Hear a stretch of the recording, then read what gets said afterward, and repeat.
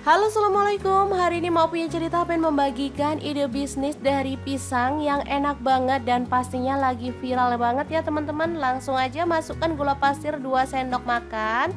Lalu ada garam seperempat sendok teh. Kemudian vanili bubuk satu bungkus kecil seperti ini. Lalu ada tepung kanji atau tepung tapioka satu sendok makan ya. Lanjut ini ada tepung beras saya pakai 100 gram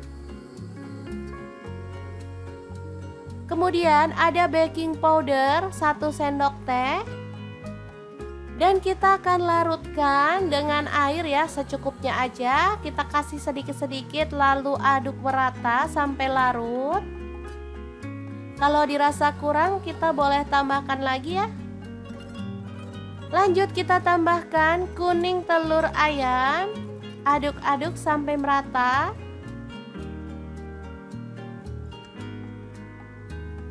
Oke, sudah siap. Ini adonannya nggak terlalu kental dan juga nggak terlalu encer ya teman-teman. Bukan bisa dilihat.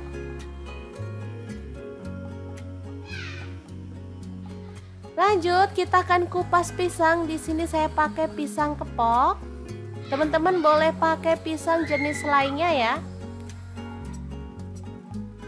Oh ya, untuk pisau dan talenannya saya pakai dari stand cookware ya.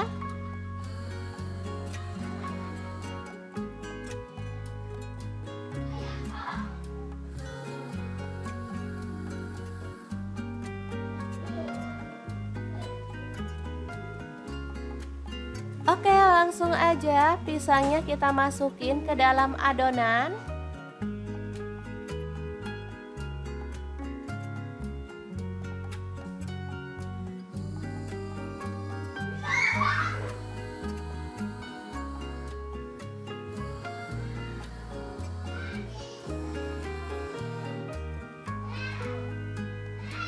Kemudian tambahkan wijen ya teman-teman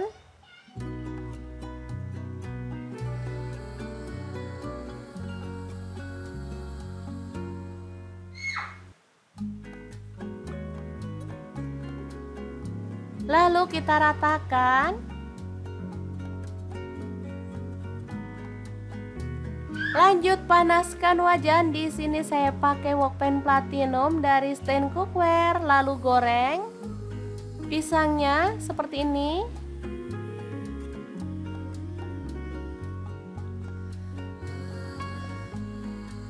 Siramkan sisa adonannya dari atas seperti ini ya teman-teman.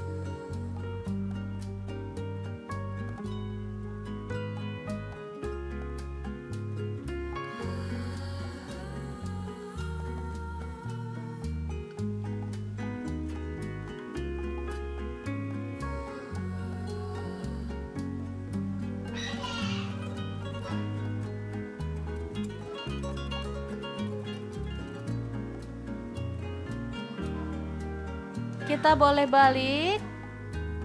Biar matangnya merata ya.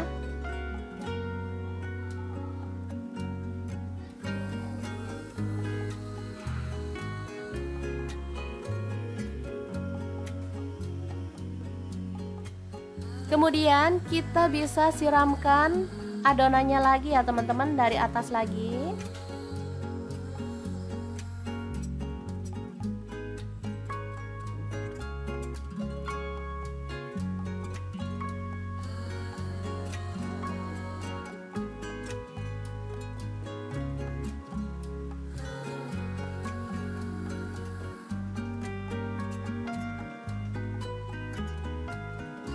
Kita goyang-goyang biar adonannya menempel. Lalu goreng sampai berwarna kecoklatan dan matang. Ini tuh enak banget teman-teman renyah, tapi renyahannya tuh empuk. Gak bikin tenggorokan sakit ya.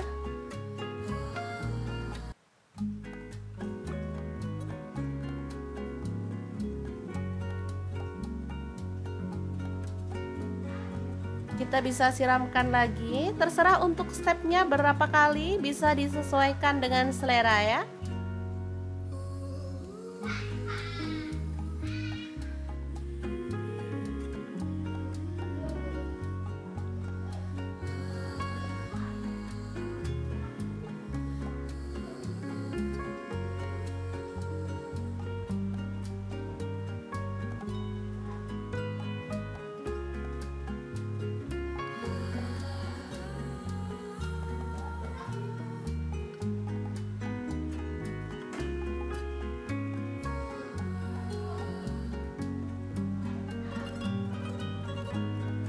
Oke, setelah matang kita boleh angkat dan tiriskan.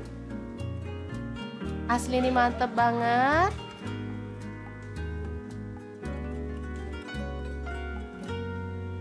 Renyah dan gurih banget loh teman-teman.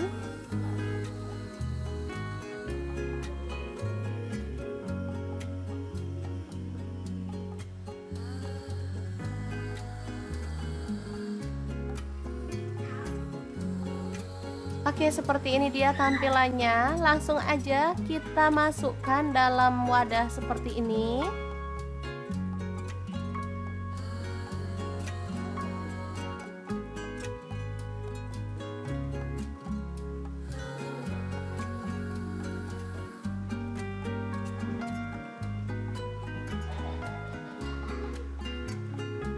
Lalu masukkan bubuk Milo ya saya pakai dua saset aja.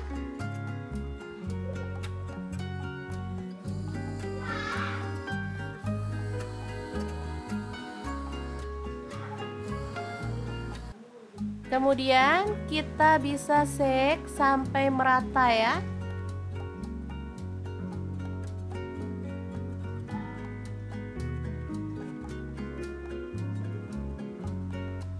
Oke seperti ini dia hasilnya. Langsung aja kita boleh masukkan ke dalam kemasan. Tinggal kita topping sesuai dengan selera ya. Asli ini mantep banget teman-teman. Rasanya itu manis, gurih, renyah, empuk Dan pastinya menggugah selera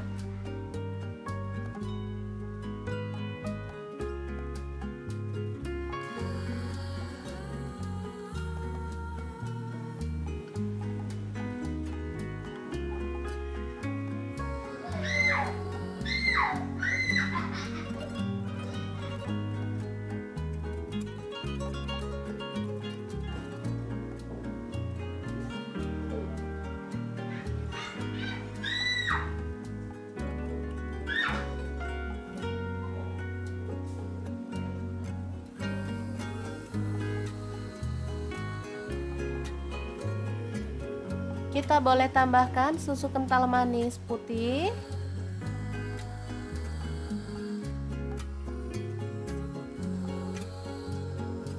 Lalu toppingnya keju parut atau boleh pakai meses atau topping yang lainnya ya sesuaikan dengan stok yang ada di rumah.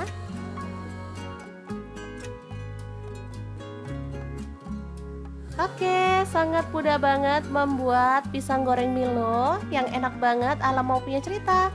Semoga informasi ini bisa bermanfaat untuk teman-teman semua. Terima kasih kunjungannya. Assalamualaikum.